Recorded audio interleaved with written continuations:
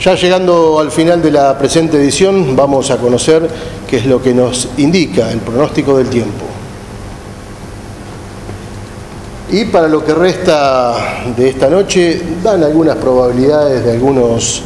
de algunos chubascos, aunque para mañana martes se espera una jornada con el cielo nuboso, una máxima de 26 grados y una mínima de 16, como si fuera en plena primavera, pero el miércoles regresa el verano en toda la zona oeste de la provincia de Buenos Aires,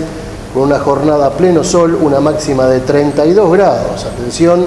y una mínima de 16, pero el jueves nuevamente algunas posibilidades de precipitaciones, bajará también la temperatura, una máxima de 22 y una mínima de 12.